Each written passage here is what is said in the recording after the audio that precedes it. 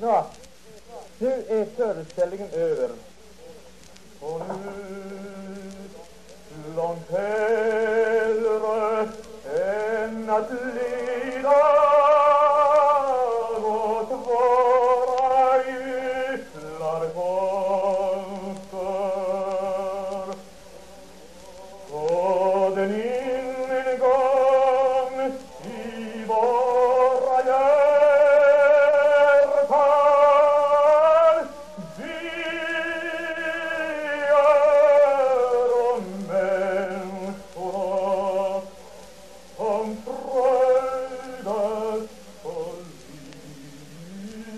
bello o come viden per per vivar